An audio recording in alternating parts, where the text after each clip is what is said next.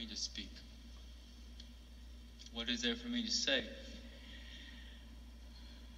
When I finish, you'll sentence me for my crime.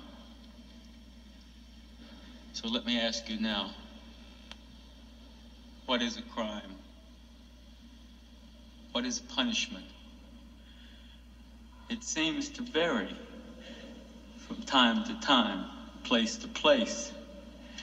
What's legal today is suddenly illegal tomorrow because some society says it's so. And what's illegal yesterday is suddenly legal because everybody's doing it. And you can't put everybody in jail. I'm not saying this is right or wrong. I'm just saying that's the way it is. But I've spent three and a half years of my life in your prison. And I think I've paid for my error. And if it's your decision today to sentence me to more years, then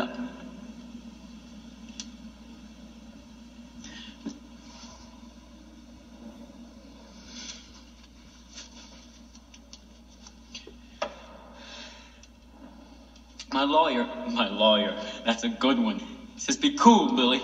Don't get angry, don't get upset. Be good.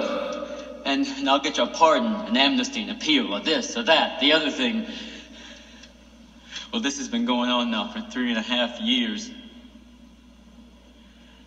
And I've been playing it cool. I've been good.